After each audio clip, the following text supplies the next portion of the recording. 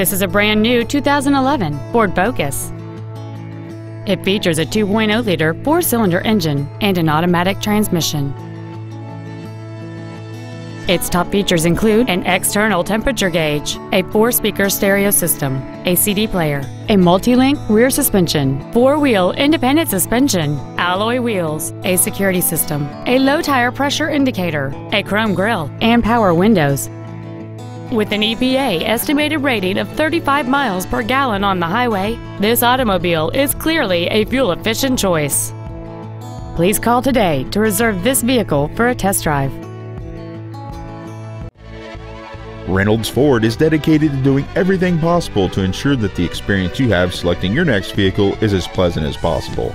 We're located at 825 North Interstate Drive in Norman.